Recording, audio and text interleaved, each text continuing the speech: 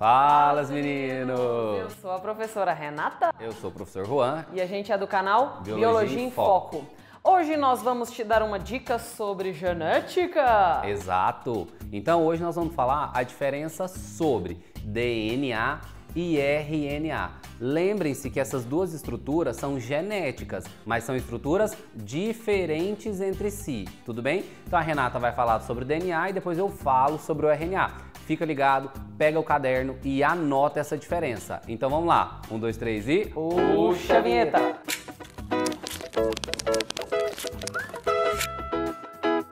Então, galerinha, começando a falar sobre o DNA, uma estrutura que é dupla hélice. Ela é composta de duas fitas. Exato. Lembre-se que o DNA, ele é composto de quatro bases nitrogenadas.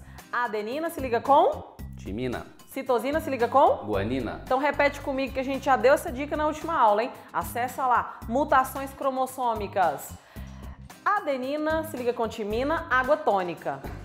Citosina se liga com guanina, cerveja gelada. Você vai tomar água tônica, você vai fazer Enem, vai estudar pra prova. Cerveja gelada é só pra decorar, tá, meninos? Só se você tiver mais de 18 anos, cerveja gelada, viu?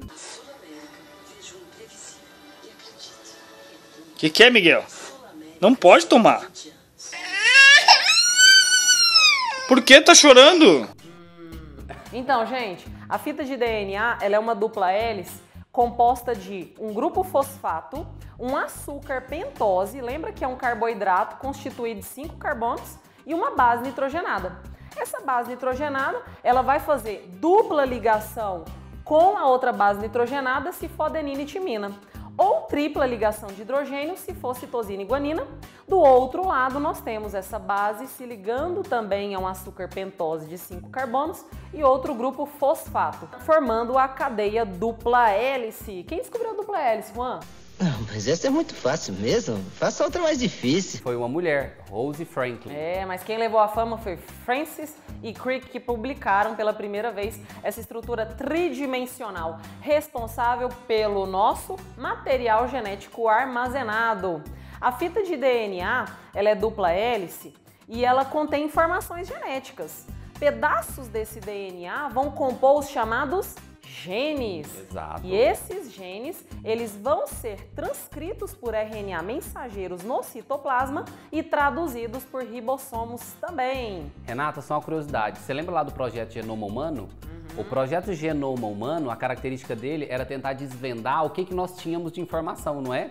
E você sabe quantos genes, mais ou menos, eles identificaram que nós temos de, no nosso material genético? Em média, 30 mil genes, ou seja, 30 mil informações, pedaços de DNA que são genes, que codificam ou formam uma proteína. Esse DNA, ele vai armazenar informação, mas essa fita precisa ser aberta, muito bem, e esse mecanismo chama-se replicação. Anota aí, hein? Replicação, a fita de DNA se abre para que um outro ácido nucleico se aproxime dele e faça a leitura. Exato. Então, quando a gente fala no processo de replicação, é porque a célula está formando agora uma nova célula, uma célula mãe forma uma nova célula filha. Então, quando a gente fala no processo de replicação, a gente fala em um processo semi-conservativo. Por que, que o processo é semi-conservativo? Porque quando a dupla fita de DNA se abre, uma nova fita vai se formar nessa que era original e uma outra vai se formar na outra metade que era original. Então a metade é original e metade nova. Então nós temos uma duplicação semi-conservativa. Lembrando que o processo de replicação acontece com o ácido desoxirribonucleico, o chamado DNA ou ADN, tá? Que isso já vem caindo em provas. Que é do inglês, ADN. Uhum. Lembrando, se é replicação, é multiplicação da quantidade de DNA. Então, quando uma célula se replica, em vez de 46 cromossomos, ela vai preparar 92, porque aí depois ela se divide em duas células filhas, cada uma com 46, tudo bem? Esse é o processo de mitose, não é? Agora, essa dupla fita que a Renata falou que abre, ela também pode se abrir para outras coisas, como por exemplo, síntese proteica. Se for fazer síntese proteica, do DNA forma uma nova fita chamada RNA. Muito bem. Ácido ribonucleico. Olha a diferença. Ácido do DNA é desoxirribonucleico. Tem um oxigênio a menos. Já o RNA, ele é um ácido ribonucleico, tá? Tem um carbono ligado em cada água, formando essa fórmula molecular aqui que vocês estão vendo. Essa é a diferença entre o DNA e o RNA. Um oxigênio a menos, um oxigênio a mais aqui. Observe nessa diferença que lá no carbono, dois linhas, o desoxirribonucleico, que é o DNA, tem só um oxigênio.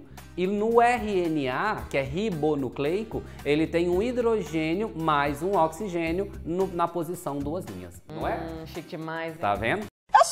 Chique, bem. Vamos lá agora para a característica do RNA. O RNA ele é uma meia fita.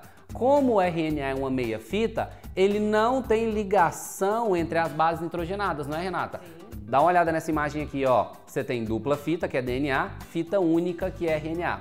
Tá vendo? Já que é uma fita única, como que vai ser a constituição do RNA?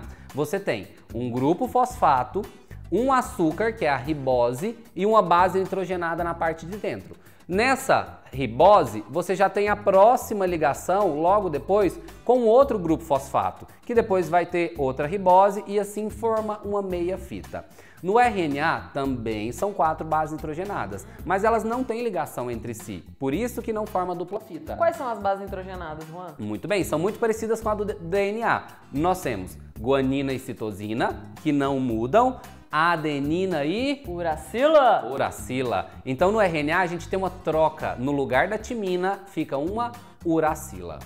E é isso aí, galera! Para você acompanhar mais sobre o nosso canal, acompanhe todas as aulas de genética, viu? Para você se atualizar, fazer as provas e gabaritar os grandes vestibulares do Brasil e do mundo. Quer ir para Harvard, Oxford, Cambridge, Águas Lindas, Faculdade Federal do Pau Terra? Se liga aqui que o canal Biologia em Foco vai te ajudar nessa jornada. Exatamente. E agora yeah. nós temos uma parceria lá com o canal Piolê. O que, que o Piolê tem? Ele é um site de questões em que você vai selecionar as questões, ou na verdade o site seleciona as questões de acordo com a sua necessidade ou com a quantidade de erros que você tem em cada matéria. Então tem todas as matérias, não só biologia. Dá uma olhadinha aqui na nossa descrição e entra lá. Isso, assim você se atualiza tanto para vestibulares quanto para concursos públicos. Exato. Então tem todas as matérias lá, tá? Não é só biologia. Até mais. Tchau. Tchau.